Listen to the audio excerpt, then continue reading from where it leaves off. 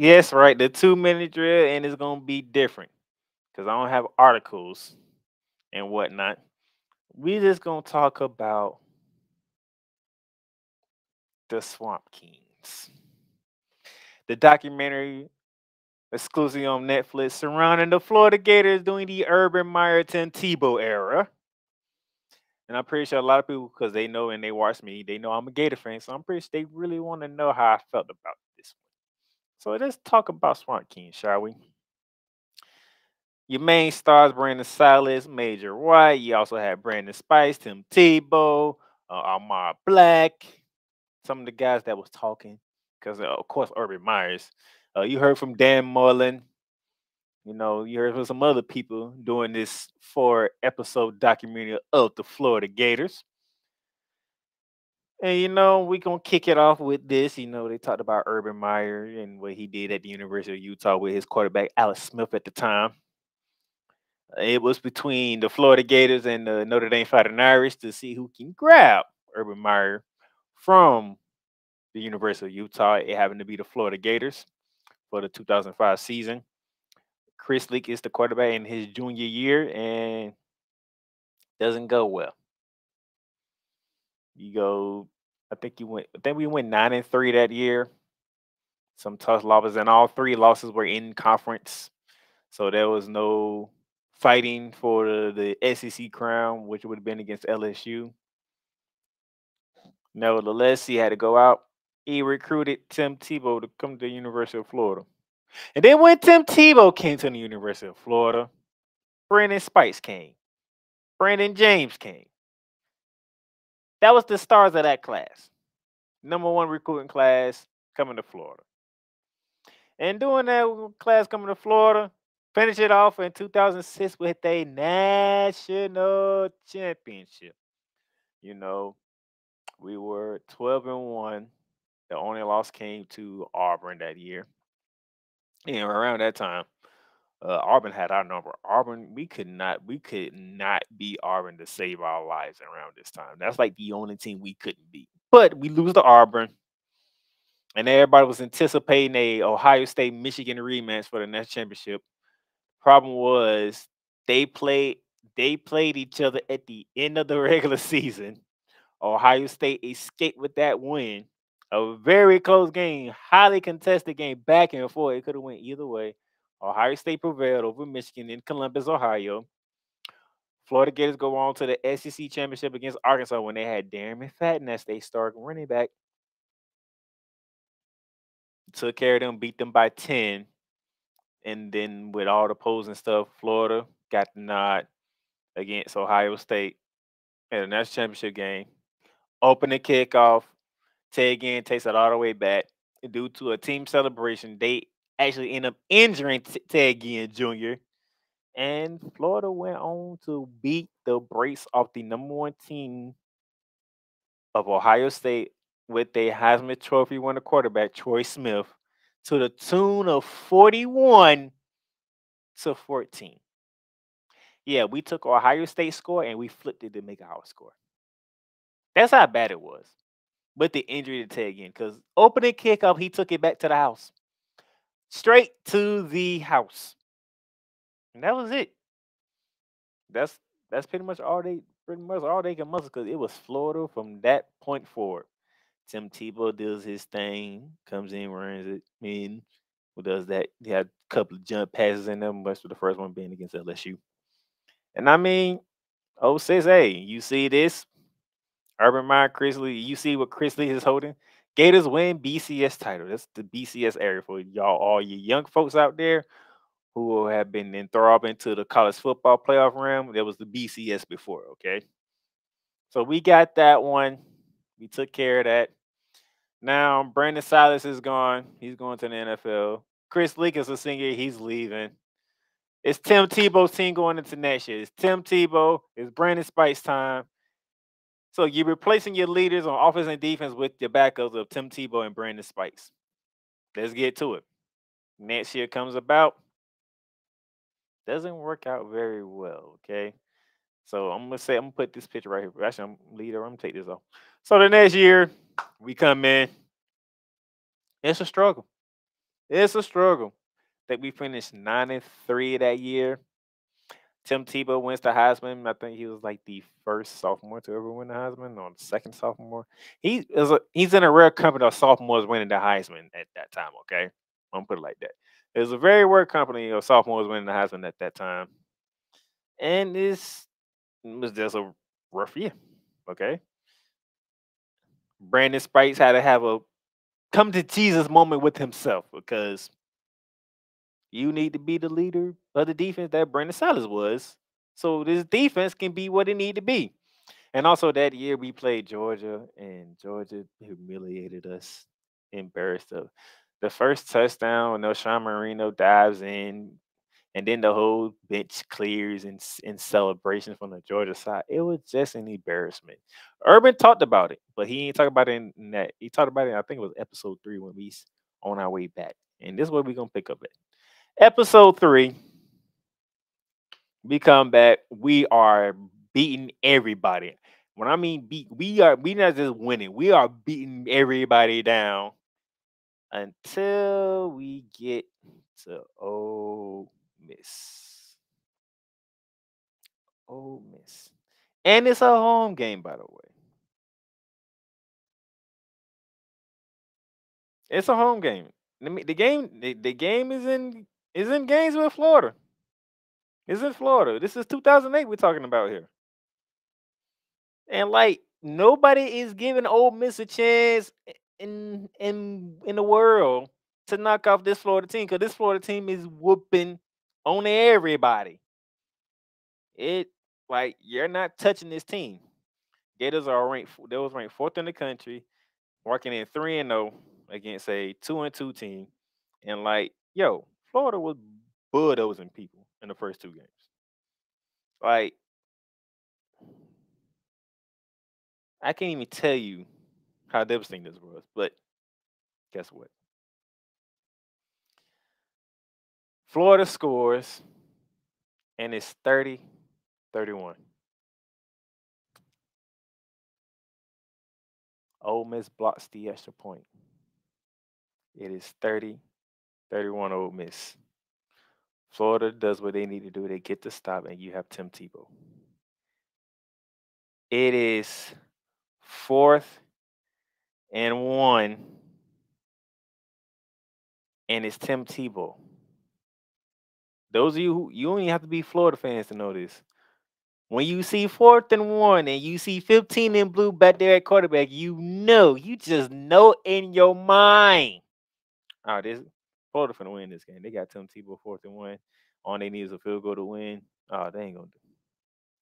And this picture that is on the screen right now, those of you who are watching on YouTube, Ole Miss stopped Tim Tebow on fourth and one.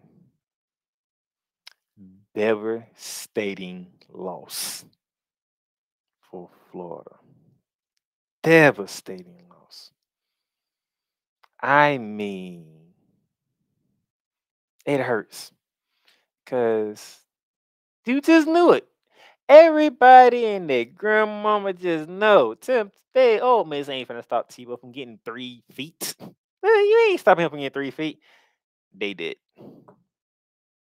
They stopped Tim, Tim Tebow from getting three feet. Shocked the world. Number four goes down at home to Ole Miss. And this is where the, the speech from Tim Tebow comes into play at that press conference. He said what he said. It wasn't scripted. It was how he was feeling at the moment in time because Superman got shut down. Superman was stopped. Somehow, Ole Miss found a kryptonite, some kryptonite enough to stop Tim Tebow. And he said what he said at that press conference, which is hanging up in Gainesville right now, is on a plaque.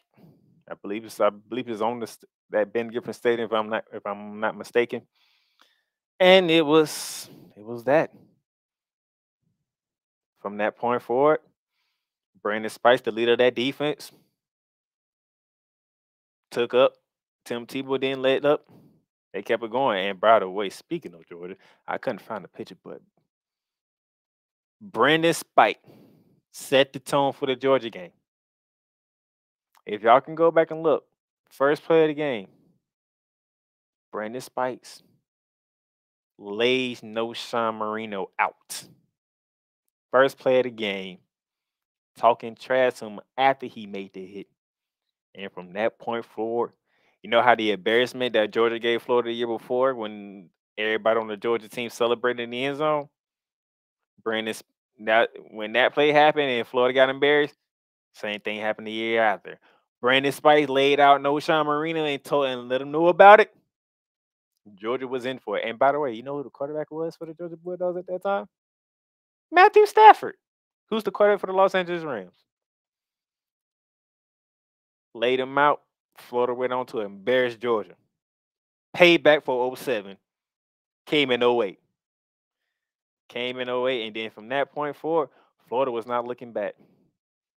All the way to the national championship game against Oklahoma and taking down Heisman Trophy winner Sam Bradford in the Oklahoma Sooners. Now I will say they didn't have uh DeMarco Murray at that time. If they had DeMarco Murray, we might be having a different conversation here. Matter of fact, we might not be having a Swamp Kings document because they had DeMarco Murray, they probably could have won that game. Because if I remember correctly, that that's championship game. I forgot who the backup running back was. But Florida had three goal line stops. Three. They stopped them three times from getting in the end zone on four plays. Three trips to the red zone for Oklahoma. They couldn't come away with they couldn't come away with nothing. Three goal line stops by that Gator defense led by Brandon Spikes. Okay. Shout out to Major Wright because in one because in that in that championship game, Sam Bradford was trying to hit one of the receivers running free on the free down the sideline, and Major Wright had a decision to make. He can go for the interception, or at least try to intercept it, or he can knock the receiver out and let and let and let it be known we we came to play some football. He chose the latter. He laid the receiver out, and it was known Florida came to play some football in that championship game. By the way, which was down in Miami. That that championship game was down in Miami. By the way. We're going to win that one. Two and three years, Urban Meyers, Tim Tebow. National champions. Two and three years. Can we go back to back? Can we make it happen? By the way, we beat Alabama and Nick Saban in the ACC title game to get there, by the way.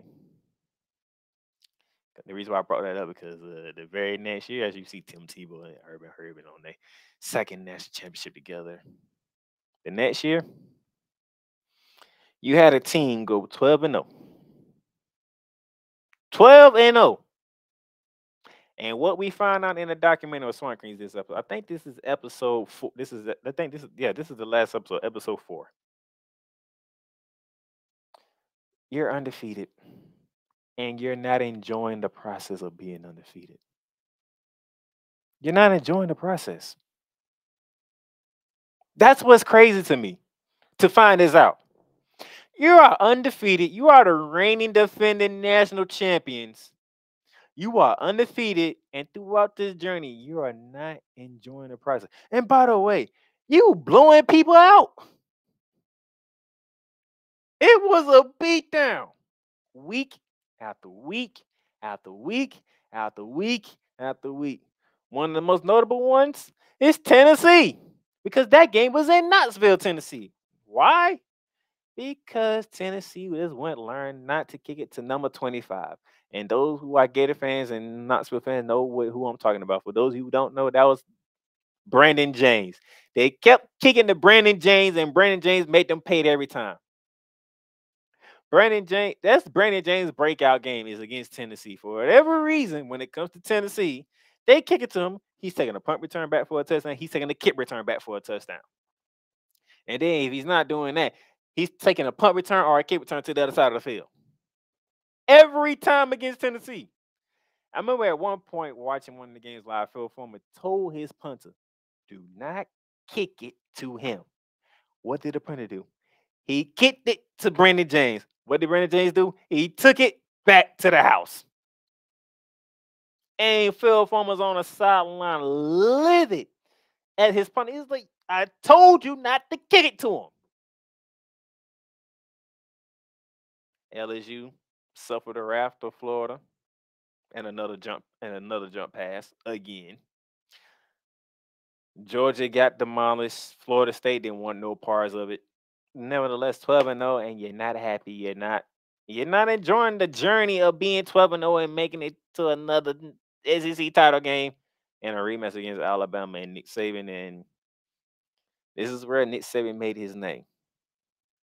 As that's why when we see analysts today and they say who's going to win the SEC and they're picking Alabama, you can go all the way back to 2009 right here because Nick Saban and Alabama got payback. They got payback on Florida. While Florida wasn't enjoying being 12 and 0 and undefeated, Alabama made it known like, yo, y'all got us last year. We coming back with vengeance and let it be known. So on to add injury to insults. The insult is us not enjoying being 12 and 0, and the injury is Alabama feeling some type of way of not being able to beat us last year, and they took it out on us. This is the picture from that game. Tim Tebow's crying, which became a thing for people to laugh at because people didn't like Tim Tebow for whatever reason. Tim Tebow is a guy who does everything right. Like Tim Tebow does. Even Brandon Spikes in the document said, "Yo, I tried to show pictures of certain of certain of certain things, meaning uh ladies in in certain ways, and Tim Tebow wasn't having it. So Brandon Spikes knew Tim Tebow was really about living life right, living life about God and what is right, and not doing what's wrong. And by the end of the documentary this year, matter of fact, this is exact year, people are getting in trouble with the law left and right. I think there was like 31 arrests with this team. And Urban Meyers didn't kick people off the team because I can't think of the guy's name, but when he kicked him off the team a year later, he overdosed on drugs and died. And that it's still to this day, from what Urban said in the documentary, hunts him to this day. Because he felt like he probably could have did something different and he would still be here on this on the earth. And he's not. But it's a lot of things that was left out in this documentary. But I one thing I do, I agree with Tim Tebow. It should have been three championships in four years in the Urban Meyer era. Three champ, well, uh, three championships in five years in the Urban Meyer era. That 09 team should have won. If they would have just enjoyed the journey, they would have. I feel that they would have had. To, they would have escaped Alabama. They would have escaped Alabama. Uh, according to everybody else, nah, they wouldn't have did it. If that team, because that team was a that t- you still had Tom Tebow, you still had Percy Harvin, you had Chris Rainey, you still had Brandon James. Brandon Spikes still the leader of that defense. Ahmad Black, Janoris Jenkins. That team was still loaded from last from the season before. Aaron Hernandez. Cam Newton was still on the team.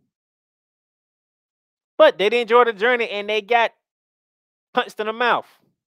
Rightfully so. Now, the reason why I have Aaron Hernandez and Cam Newton up here, we didn't hear nothing about Aaron Hernandez we heard about the one trouble he got in, but but just like with Aaron Hernandez, all the other players, they found they had a lawyer, found a way to whatever charge they were brought to him, found a way to get it off off their record, expunged, whatever the case may be, in business as usual. That might have been a detrimental to a guy like Aaron Hernandez.